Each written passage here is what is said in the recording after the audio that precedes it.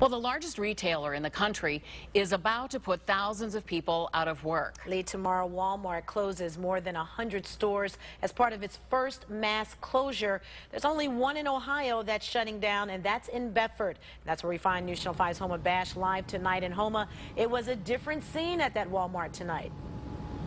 Yeah, Danita, I can tell you, I have never ever seen the inside of a Walmart look quite like this, but here's the silver lining for people in Bedford. Everything inside here is now 75% off. But it's just about all picked over now. I just want to go home. she shopped till she dropped. Literally. She's not alone. Less than 24 hours to go until this Walmart on Rockside Road in Bedford closes its doors for good tomorrow, joining about 100 others across the country. $300 worth of stuff for 84 bucks.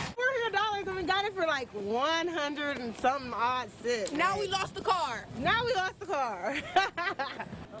Don't worry, they found it. And shoppers inside found deals they couldn't resist. Cell phone video captures empty shelves and full carts. Starting last Friday, this Walmart location marked almost everything down by 50%. Think of it like Black Friday, shown here, but on steroids. Police say lines wrapped around the store over the weekend, even forcing it to be closed down a couple times when it hit capacity.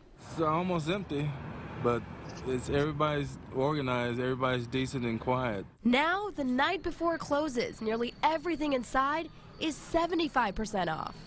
There wasn't a lot left. Super sales aside, it's not all good news for this town of 14,000. Bedford city manager tells us their budget will take about a quarter million dollar hit because of the move. Not to mention nearly 300 employees now looking for new jobs. I'm gonna miss this place.